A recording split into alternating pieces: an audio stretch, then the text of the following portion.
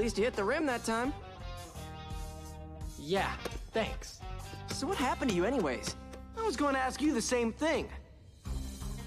It started when the Omnitrix fell out of the sky. I was 10 years old. Six years ago, the Nanite event changed everything. And there's alien DNA in the Omnitrix. And that's how I can build stuff with the micro machines in my body. Now Kevin, Gwen, and I are the plumbers. Plumbers? I thought Providence was a dumb name.